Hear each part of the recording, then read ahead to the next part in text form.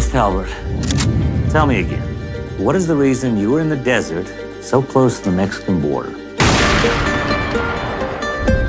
Shouldn't you have a hot date or something right now? A hot story, even better. Securing the border is a matter of national security. So you're in favor of the recent Arizona immigration law?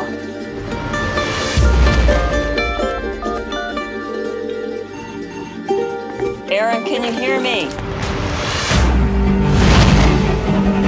Aaron's missing. He missed his check-in tonight.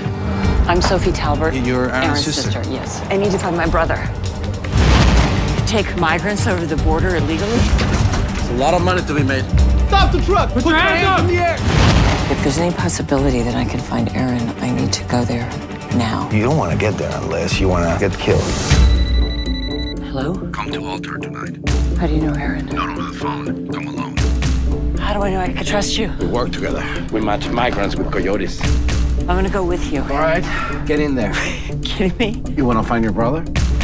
Why are we crossing the border? We're picking up a stash first. Drugs. There are innocent people over there. Sometimes we all need to look the other way. Don't ask questions. Don't start conversations.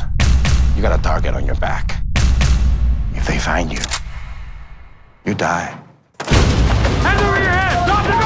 Come on, run! Follow me. Have